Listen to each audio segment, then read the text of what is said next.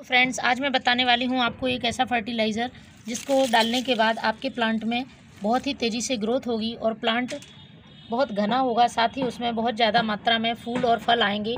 Plant कोई सा भी हो, चाहे वो वेजिटेबल प्लांट्स हो या फिर हमारे फ्लावरिंग प्लांट हो, किसी भी तरह के प्लांट में ये फर्टिलाइज़र आप यूज़ कर सकते हैं और बिल्कुल फ्री का होममेड जैविक फर्टिलाइज़र है।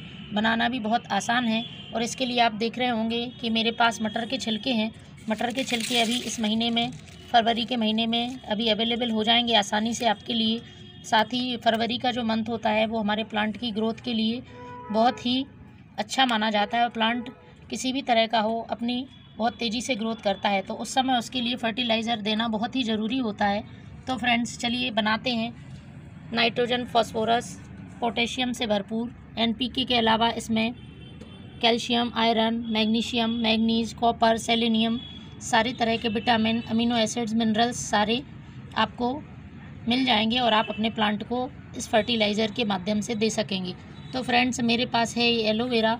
एलोवेरा थोड़ा सा मोटा हिस्सा जिसमें जेल की मात्रा ज़्यादा हो, इस तरह की आपको लीफ ले लेनी है एक।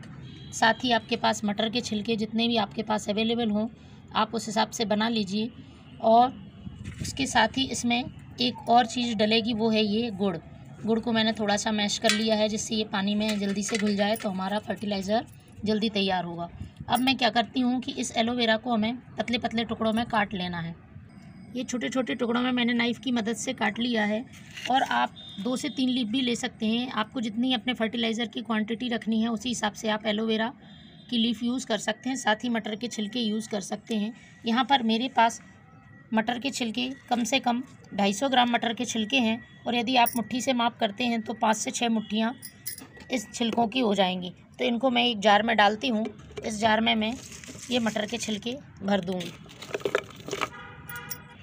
इसके बाद इसमें ये हम एलोवेरा जेल है, ये डालेंगे। और साथ ही फ्रेंड्स, इसकी गुड बैक्टीरिया डेवलप करने के लिए इसमें हम ये गुड़ का यूज़ करेंगे तो आप इस गुड़ को घोल कर भी डाल सकते हैं। इस तरह से आप मैश करके डाल दें। इसके बाद इसमें हम पानी भर देंगे।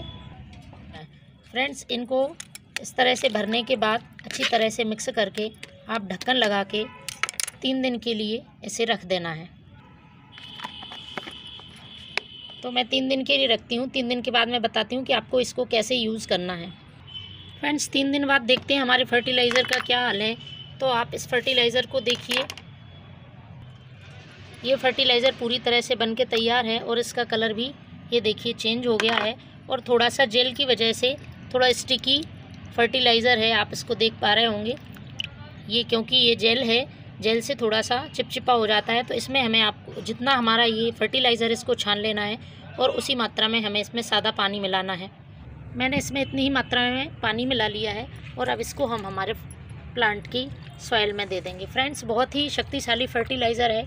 आप इसे मंथ में एक बार ज़रूर यूज़ करें और अपने प्लांट पर फ़र्क देखें।